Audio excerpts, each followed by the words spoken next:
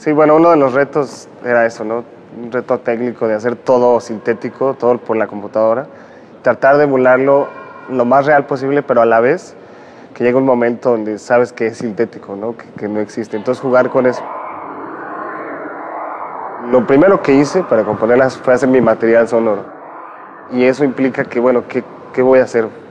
Una selva ya te dice muchas cosas, ¿no? Va a haber animales, va a haber sonido de los- del clima, ya tienes ahí dos parámetros.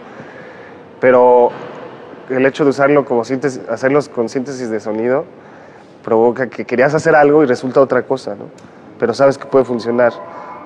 Y sí, el material fue el que me dio la estructura.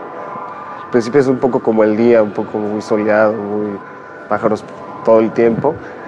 Este, de repente el evento en el que aparece un, mosco ya es como un cambio, ¿no? Algo va a pasar hasta que llega una tormenta y llega la noche, ¿no? Al final es la noche, la noche, el silencio y la parvada, ¿no? Arriba.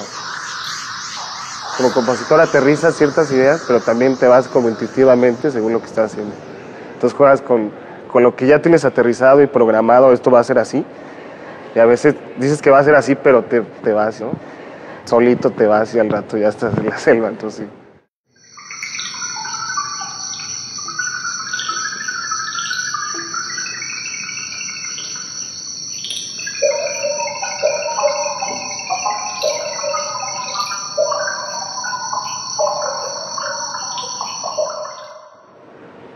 Algo que es maravilloso de este, de este espacio es que, bueno, tienes muchas bocinas y, y se vuelve otro parámetro composi- compositivo, ¿no? Invitar a la gente a que habite un espacio sonoro, ¿no?